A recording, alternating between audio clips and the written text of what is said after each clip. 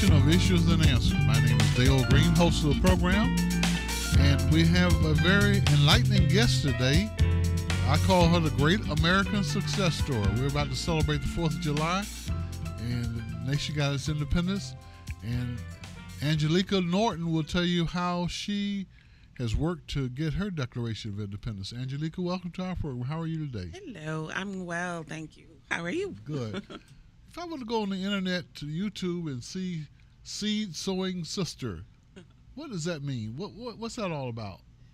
Uh, Seed Sowing Sister is an individual, which is myself, um, a person that plants seeds of hope, motivation, inspiration, and education to the community. Right.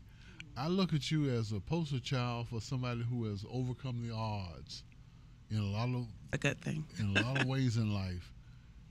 Uh, this dysfunctional dad, mm-hmm. uh, uh, sort of rough growing up, mm-hmm. if you will, in terms yes. of dysfunction and challenges, and yet you have overcome that. Uh, tell us about the early years, if you will. Oh, the early years of Angelica, very interesting. Um, I grew up in College Hill um, housing projects right in the heart of East Tampa. Mm-hmm. Um, I was born to two uneducated parents. Uh, my mom was a teen mom. Um, and then from there, I'm second oldest of seven children. So um, I gained and had a lot of responsibilities early on in life. I helped to care for my my siblings. I learned how to cook. I learned adult responsibilities fairly early. Right. In life. Yeah. And at 29th and Lake, you were often looking for your dad. I was. was often looking for crack cocaine. Yes, yes. My dad, um, back when I was growing up in my early years, um, East Tampa was known for the issues with drugs. Um, crack cocaine was at the height sure. of, you know, whatever demand, it was. Demand. Yeah, the height of, I don't, uh, yeah, demand back then in the 80s. Um, and um, I saw a lot. You know, growing up in the housing projects, you see a lot. Um, even when your parents try to protect you, you still see a lot. You you see a lot, you pick up on a lot, and it, it exposes you to a lot. So, in a sense, you kind of grow up really fast um, right. um, mentally. When did the light bulb come on to say this is not the way I want to live? Oh, very early in life. Uh-huh. Very early in life. One of the one of the things that um, I do contribute to my mother is the fact that she raised us in church. So um, we were always in church, mm-hmm. and because she couldn't really afford extracurricular activities, and back then the Parks and Recs was pretty much free. So I I lived at the Parks and Recs, um, participating in different um, sports such as cheering, track, you know, kickball was a sport then. You mm-hmm. know, um, we would compete against other uh, parks and recs within, you know, our city and different things like that. So, um, although I had that extracurricular activity and it was for free, um, the other extra extracurricular activity was um, knowing who God was and understanding um, the foundation um, in which my mother wanted to raise us on. And I'm forever thankful for that because that's how I connected to my purpose and my vision very early in life. I knew, um, if I could say that, I knew that there was something special about um, my journey. Mm-hmm. And I knew that early in life that I had a purpose. Um, it was always brewing in my spirit. It was always on my mind that I'll do something different, even when I chose to go different routes and became a teen mom myself. Um, you know, fell short of my environment, sure. the things that I saw. I still always knew deep down that you know this isn't me. This isn't the real me. Um, and yeah, I knew right. very early. Let's fast forward, if you will, to yeah. another time at a certain community center I went to something that you hosted called Lunch and Learn. Yes, yes, yes. And I had lunch and I did learn. And you did learn. yes. Um, Seed Sowing Sister was incorporated as my business. It wasn't until 2015 that God laid it on my heart that Seed Sowing Sister, the business was myself. My life became my business. My testimony became my business. Um, the things that I had overcome became my business. Um, the resilience that I had became my um, my business. So Seed Sowing Sister, um, it's it's my name changed. So my name is Angelica, but I am known for by Seed Sowing Sister because I started doing the work of Seed Sowing Sister. So we all have a purpose, and in discovering my purpose, um, no different than in the Bible when God changed Abraham name to Abram and then Jacob name to Israel. I had a new name. So, with my new life, my new responsibilities, walking in my purpose, understanding my vision, and uh, for the purpose He created me for, I now understood my name and I also understood my brand. My brand is that of resilience. We all have a brand. Right.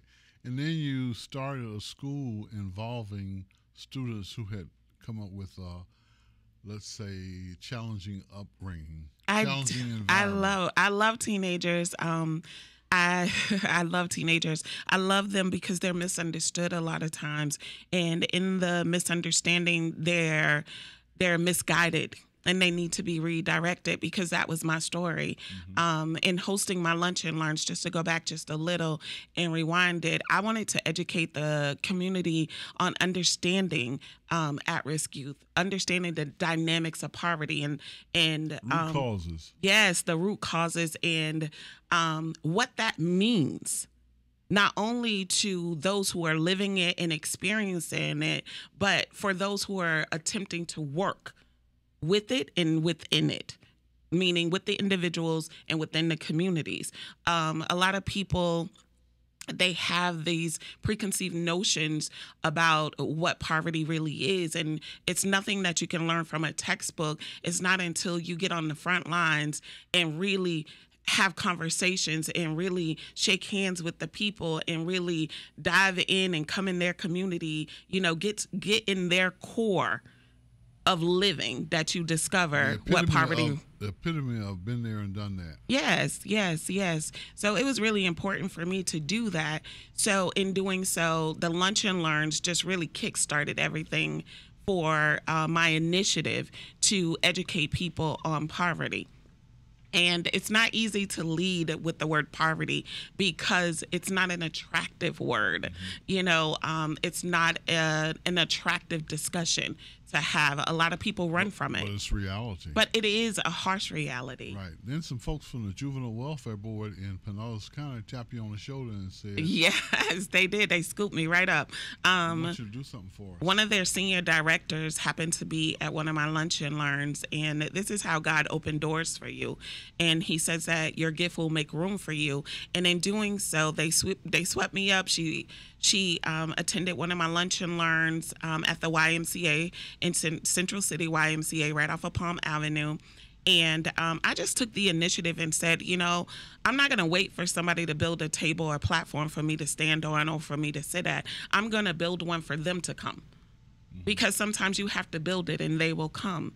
And my lunch and learns would sell out in a matter of an hour or so at seven dollars, you know. Sure. such and, a deal. Yeah, such a deal. and then you would get um, not only the the data and the statistics that you know the DJJ or what the Florida um, guideline for poverty was, or whatever the case may be, but you would get my hands-on experience working with at-risk youth. I have worked with thousands of at-risk youth going into jail, working with um, juvenile offenders. Um, working in some of the lowest Hillsborough County schools, having contracts through Hillsborough County schools. I designed my curriculum, and it was based um, upon the the knowledge of working with at-risk youth who are experiencing and battling poverty. Right. So you dealt with a lot of issues then. Yes and you provided the students or the participants with some answers absolutely of how to deal how to navigate life. Absolutely because it's it's interesting because we have gps now and it helps us to navigate where we're going so we from don't get lost point from point exactly. But we didn't we don't have that in in poverty people who are living in poverty they go oh it's uh they have a lack of resources it's a lack of finances it's a lack of vision it's a lack of purpose it's a lack of hope there's a lot of lack in mm-hmm. poverty in when you're a child mm-hmm. and you are lacking in all of these areas, you're Basic only going to of life. Yes, you're going to lean to chaos. You're going to lean towards disruption. You're going to lean towards confusion and dysfunction. and dysfunction. Absolutely. Right. And now let's fast forward to your uh, being tapped on the shoulder when I said, yes. "Come here." I think you need to.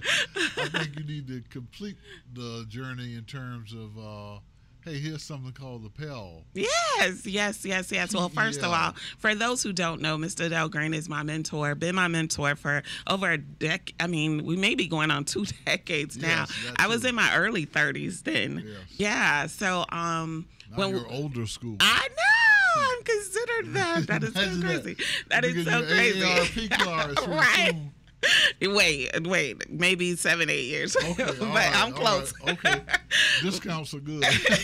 I'll take a discount. But um, Mr. Dale Green, he was one of these people that you meet who see something in you, and then again. A door opens and he's like, Hey, this young lady, there's something I can't speak for you, but I'm just trying to foreshadow, paraphrase. You said something special about this young lady. I want to get to know her. So he is the reason, guys, that I am even in radio. Um, this man To right God here. be the glory. uh, you're giving me way too much credit. No, it is you. It was because of you. I'm just a facilitator, but facilitators, dream maker, if you will. yes, yes, yes, yes. So I'm so uh, facilitators are delivery. Yes. They are they delivers and they they pass on things. So you were able to not only pass the baton to your biological daughter, but to your mentee daughter as well, because I picked up the baton. known as daughter number four. Yes, I'm known as daughter number four, and I'm honored to be known as daughter, daughter number four. So I'm, I have to remind him I'm daughter number four.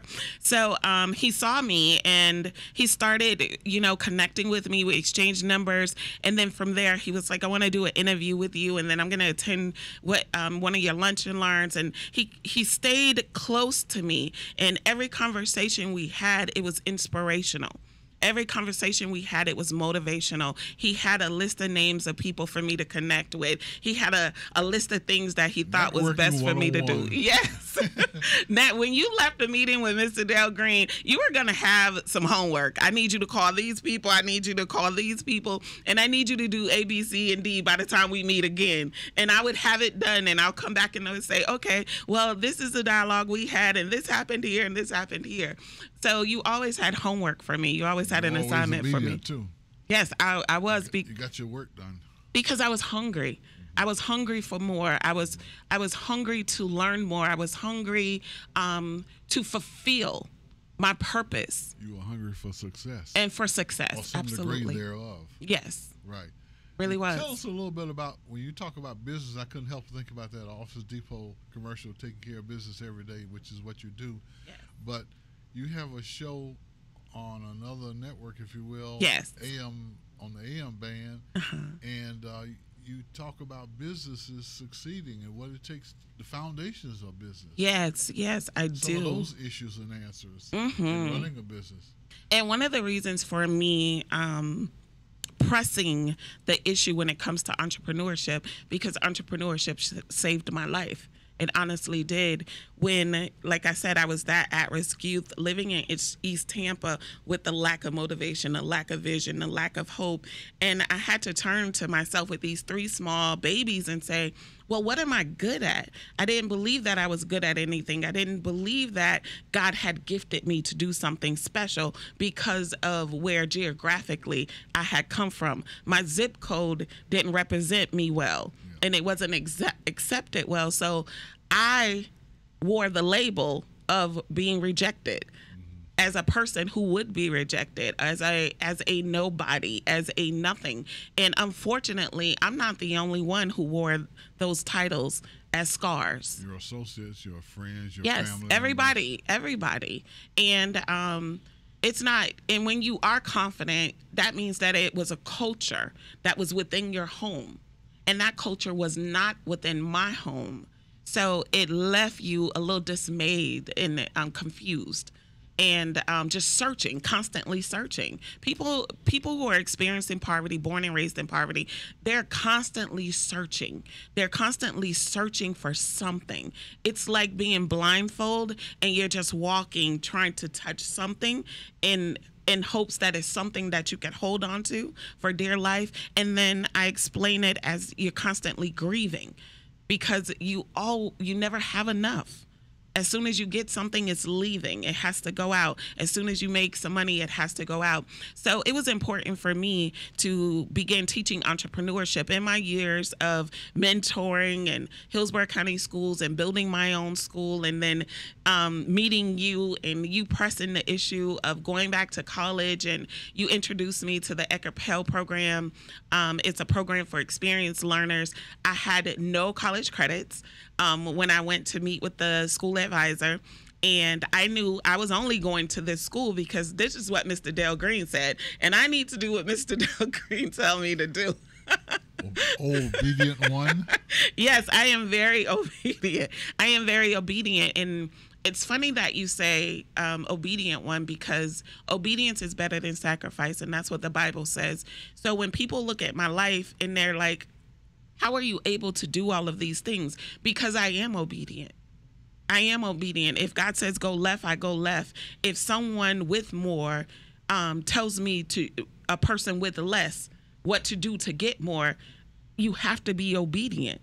If you procrastinate, if you abort the mission, then disobedience leads to lack. Sounds like you had to walk the walk and talk the talk. Yes.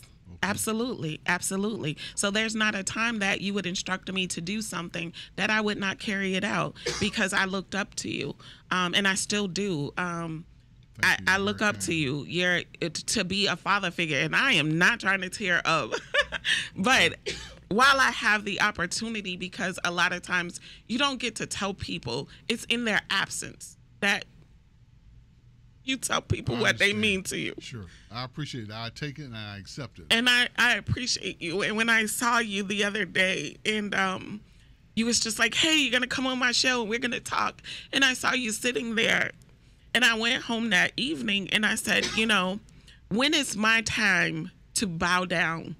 And when it's my time for God to sit me down, I can only pray that the seeds that I've sown stand up for me. And I am standing for you. You done good. You've done good. You, I am. You have done real good. I'm standing as a I'm so representation proud. of you. I'm so proud of you. And I would not never let you down. You're a great American success story, right here in front of me. I mean, that means a lot to me. And the reason I say you give me too much credit because I didn't take those exams. Mm-hmm. I didn't do those papers. You did those papers. But you believed in me, and it's priceless to believe in somebody. And you, we all can have. um our family, and I lacked in a lot of areas of support. But for a complete stranger to come into my life and see something that God gave you the eyes and the heart to nourish me, to lead me, to support me, right. and to believe in me, I'm forever thankful. Right. Remember, there's no crying in radio. There's no crying in baseball. There's no crying in radio. Hey, I never know what tomorrow will bring. Yes, I so I had to take the yeah. moment yeah. to let you know that if nobody else has ever told you or will ever tell you, your contribution to our city, to our communities, to radio, to education, I was just being obedient. to the youth I'm forever thankful. He would drag me on the bus tours too, guys, to college yes, um, tours, and too. I had to take the kids and do the work, and I'm forever thankful. With the clipboard. With the clipboard, I did. Sit down. Don't talk until you're spoken to. Say yes, ma'am, and yes, sir. R E S P C T. Yes. And my best is still yet to come. Yes. And I will honor you. I will recognize you, and I will make not only God myself, but you proud and everyone else who's rooting for me and depending on me. Seed sowing sister. A Seed sowing sister. Great American success story right in front of us. Angelica Norton on Issues and Answers. That's a big deal. Issues and Answers with Mr. Dale Green, my mentor. yes. We're going to uh, just take a break right now, I guess. And uh, we'll be back with more of our program in just a few moments. Brought to you by N-TOUCH News Radio.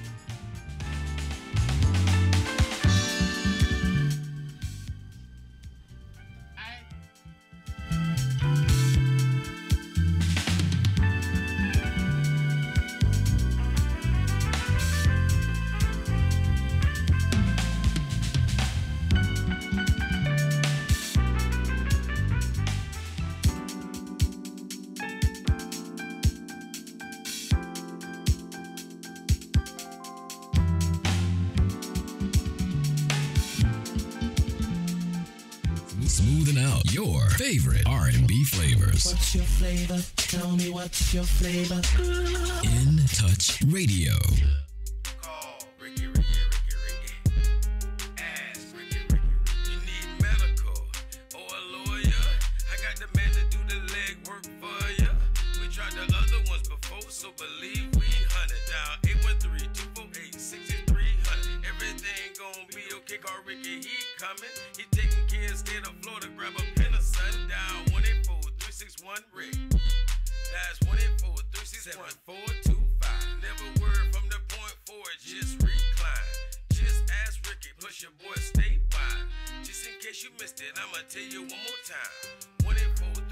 184-361 Rick.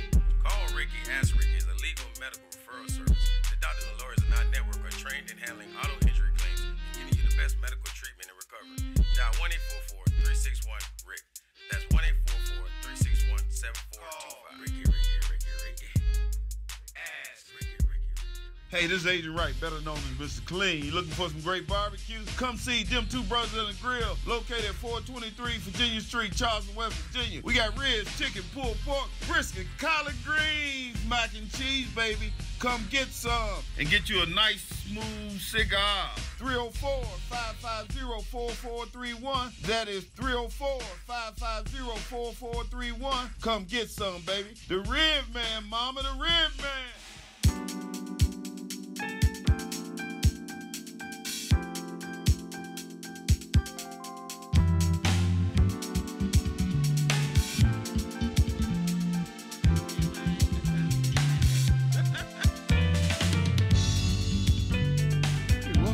To Issues and Answers. Dale Green, host of the program. I asked Daryl Johnson Dale the other day, DJ CEO, if you will, uh, how long I have been doing this. I think it's been about a year. And uh, time flies when you're having fun, Angelica. It does always. Just like time is flying by when you're having a 30 minute show and you have a, a very competent person over here on the controls handling business. And uh, it's really a joy and a pleasure to talk to you and to see that you've come from such a long way. I, I'm so thankful. I'm of some, thankful. You know, their needs and their wants. Mhm. And you needed some things and you wanted some things. And you have to go out and get them.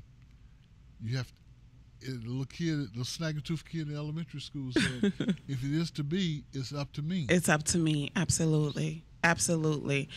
Um it's it's really interesting because like I said a little earlier, I always knew that there was something um thank you, bigger and better that God had for my life, even in the lowest places of my life, even in the pit of my in the pit of my life, the darkest place in my life, all I could do was look up. And I knew that it was more. Every time I would go to sleep, I kept saying, There's more, there's so much more to me. And that is vision. I had to learn that over time, but your vision will never leave you. It will stick with you. Well, give us a preview of coming attractions in terms of uh, status or where you'll be this time. this time next year. This time next year. This time next year.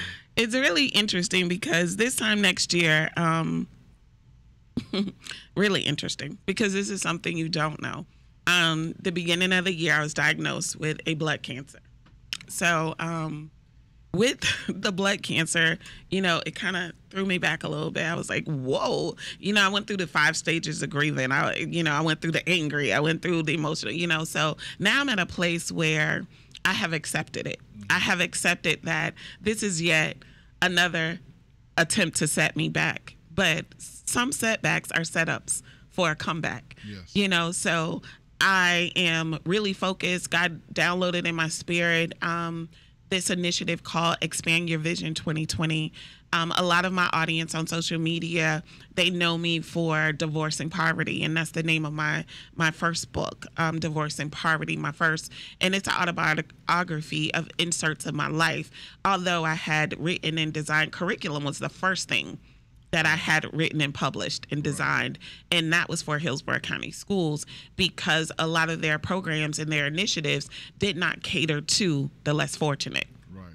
So I wanted the verbiage, I wanted the the the language and the approach and the delivery of the curriculum to speak to them in their environments mm-hmm. because that was the only way that I could reach them is to speak directly to Sure. their environment because we all have a jargon. So I when I'm training and facilitating um, you spoke a little earlier about juvenile welfare board you know snatching me up for the past now 12 years and being a facilitator and trainer for them and then designing curriculum such as the poverty experience which was a simulation. That was the first time i was paid a thousand dollars to design a curriculum for a huge nonprofit deal. that is huge. And I didn't even have my degree then. You know, I'm speaking and I'm facilitating and I'm being paid $125 an hour, and all trainings were three and a half hours. No degree yet. Right. You're very creative and you're very blessed. And you know it too, don't you? Uh, Yes, yes, because you identify it. If you don't identify the gifts that God has given you, how can you put them to work? How can you use them? How can you activate them? I have one more assignment for you. Oh, you to, to, to design a card for me for Vista on Vistaprint.com Mm-hmm. so I can hand them out. I saw a lady today when I was over there getting my wheelchair fixed, and this angel just started praying for me and told me about some medicine some at some pharmacy, Orange Pharmacy Mm-hmm. in, uh, on Nebraska Avenue, called 3S Tonic. Oh, And she says it's good. She swears by it. 3S times She said get it because it has something to do with your blood, strengthening your blood. And well, we uh, both need it. yeah, and so I'm gonna take. I'm gonna go over there and check it out and start taking it okay. because uh, when people, when angels just, just sitting down on the sofa at the at the health aid store, and she just started praying for me and telling me about my roots and and a lot of uh, prophecy, if you will, Mhm. from the Bible, scripture and verse. You better pay attention. When people give you advice out of the clear blue, you, you might want to stop, sit up, and listen. Absolutely. And that's kind of like what happened between you and I. Yeah, Uh, you did stop, you listened, I did. and you took advantage. You followed directions, and you created, you charted your own course. You are charting your own course. Yes. As we speak, to God be the glory. That's why I say, don't Absolutely. give me too much credit. To God be the glory for the magnificent things He has done in your life and will do in your life, including healing. Amen. You will be a survivor. I'm a two-stroke survivor. Two stroke survivor. two strokes in two days is no joke. Okay, just out just out of the clear blue, just just knocks you down. It does. But no pity party. No pity party. No Absolutely no not. invitations. I don't have any invitations to send out. If it is to be, it's up to me. If It's up to you. Physical therapy. Absolutely. You do it. Have a Absolutely. certain regimen. They say take this. Right. Right. Take this thin the blood. You do what they tell you to do. Yeah. Yesterday, um, I received a call from the doctor, and it wasn't the best news that I expected. But at the same time, um, I know, I know all too well that the enemy will use things to distract you, and um, re- receiving reports from the doctor or having medical in, um, issues or things that attack our body is considered a distraction. And when we focus on for for I know for you and I, when we focus on by stripes I am healed, I stand on that, you know? And not only that is that I am working my purpose. So I am about my father's business and I am caring for his children. I'm looking out for his children. I am I'm feeding his children. And I know that he knows that the work that I'm doing Hands on and giving back. and giving back and it's Just really important just because. you see a need to be done, you see there's a need, You feel it. and I don't want to be the only one. I don't. I don't want to be the only one. contagious- Yes, yes. I'm going to send a copy of this uh, broadcast over to Jane Castor. Uh, Oh, wow. Mhm. So that you've been there and done that, and maybe you can contribute some other things to this East Tampa area Yes. and to other neighborhoods in zip code 33607 West Tampa 33610, Yes. which gets a bad rap. And there's some good, decent, hardworking, honest, God-fearing people in that zip code. Yes. Absolutely. Everybody is not all. You don't write everybody off Absolutely. and talk to them condescendingly. Absolutely. They're people. They're human beings. Um, feelings. they have feelings. They have a heart. And I do this training exercise when I walk in, and there's you know two, three hundred people, um, and I'm facilitating or speaking, and I'll say, close your eyes and imagine a mother who is about three to four months pregnant. You know, going into her second trimester of pregnancy, and away, she's rubbing her belly and she's so excited about the life that's growing inside her. No mother says, I want my child to grow up to be a menace to society. No mother says, I will raise a dropout. No mother Juvenile says, delinquent. yeah, I'm going to raise a juvenile delinquent. No mother says, I want my child to grow up and just do everything the wrong way. And I want him to end up incarcerated.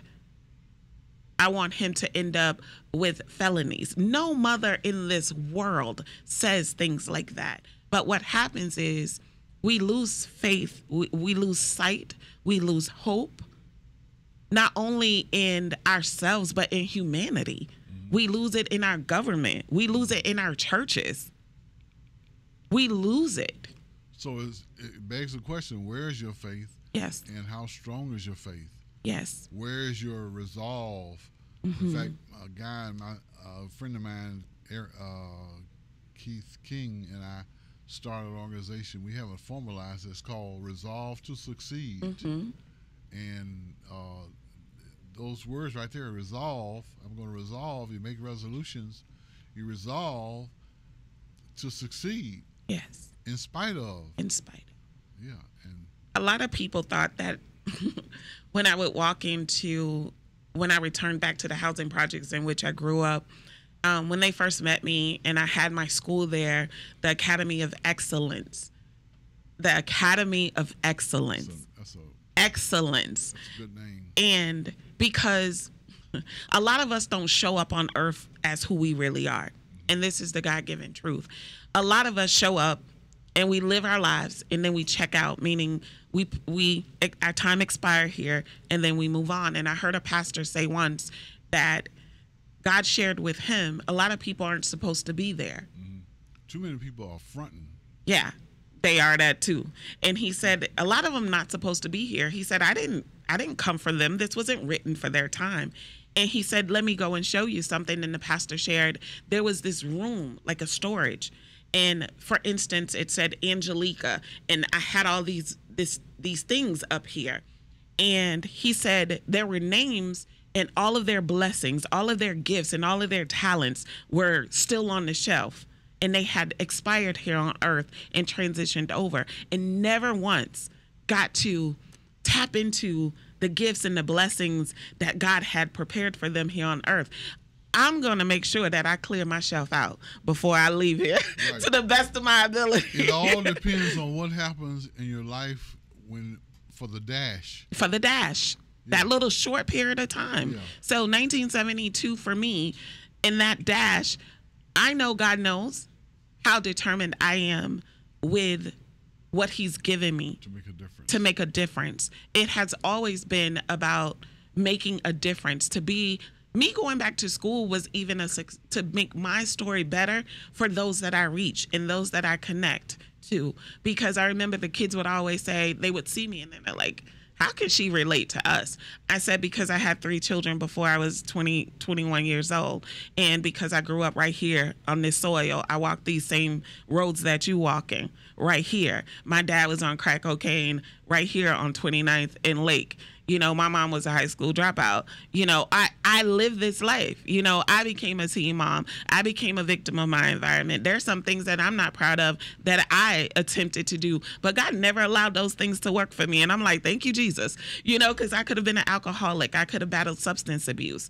Although I do battle um, my battle with depression and anxiety. Um, all of those things attach themselves to you when you're grieving poverty. They don't define you necessarily. They don't define you. No, they don't. No, they don't. You just learn to manage it. Labels are something else, aren't they? They are labels. Oh my gosh, labels. Labels can make you or break you. They really can. And I tell people all the time, I do not wear labels. I do not wear labels. I don't care if they tell me, some people, they'll call me to speak at churches and they're like, okay, what's your title? Prophetess, apostle? I'm none of that. I'm just a girl from the hood that God did something for. And I'm just here to tell the people about what he did for me and that he has no respect of person and that he could do the same for you. You're He hasn't given me any other title. So I don't wear them. And I'm not hungry for a title. What I'm hungry for is to be a difference, be that inspiration, be that motivation, be that person to empower and inspire someone else to get to the next level. Because if I can get them from the ground level to to the next level, they now start to develop that hope.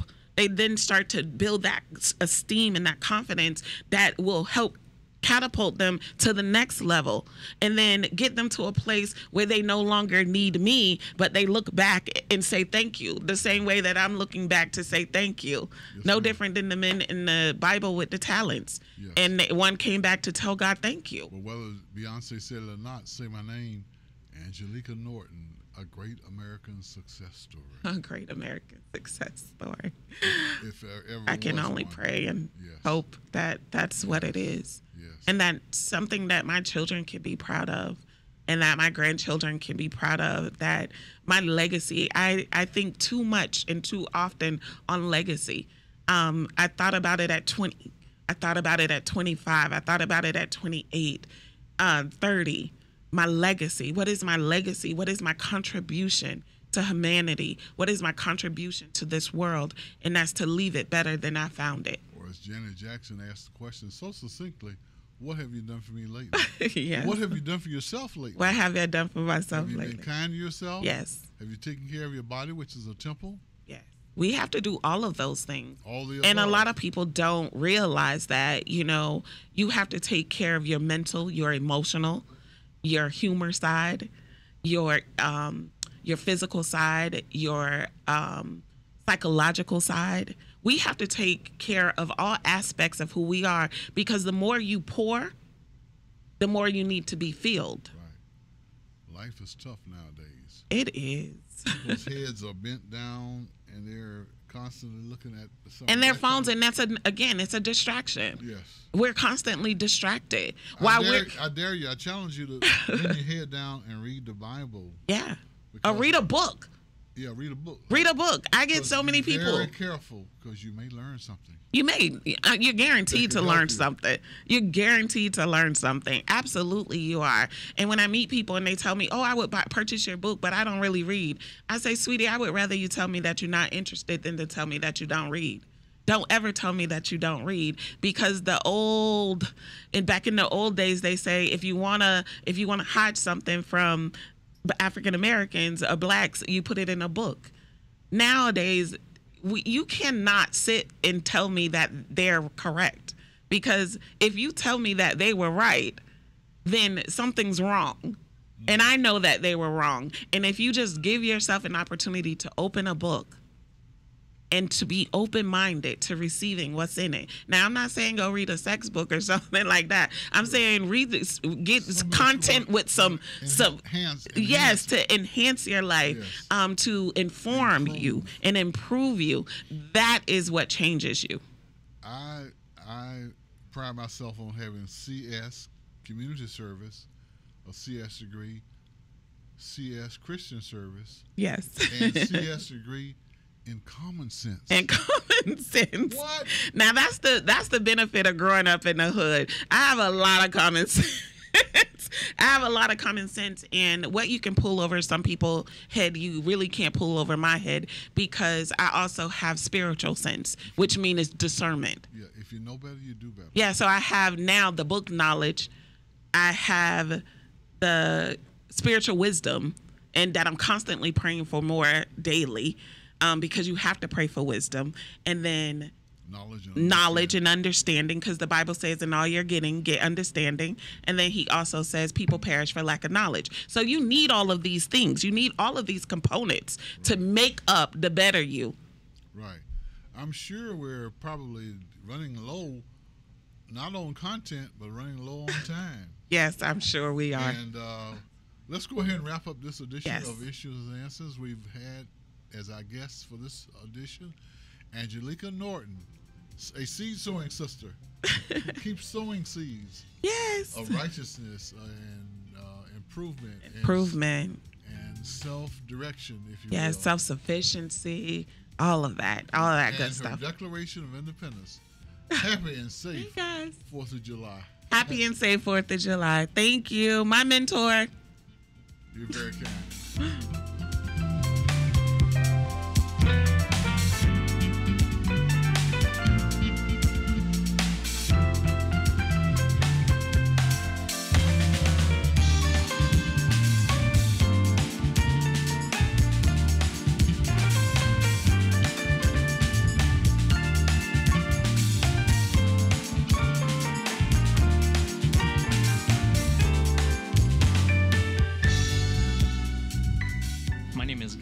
Sampson. I didn't come from a very rich family, and so paying for college would have been very tough. I don't know if I would have been able to go to the college that I went to and then